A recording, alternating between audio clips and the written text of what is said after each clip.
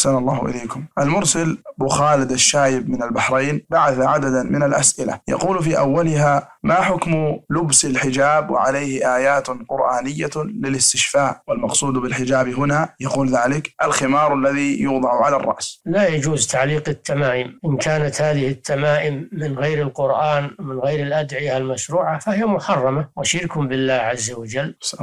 قوله صلى الله عليه وسلم من تعلق تميمة فقد أشرك. وأما إن كانت من القرآن أو من الأدعية المباحة فكذلك على الصحيح من قولي العلماء لا يجوز تعليقها لأن هذا داخل في آه، النهي عن تعليق التمائم. ولم يفصل النبي صلى الله عليه وسلم بين التمائم التي من القرآن أو من غير القرآن ولا بين الحجب التي تكون في أوراق أو في ملابس لأن هذا لأن هذا من وسائل الشرك.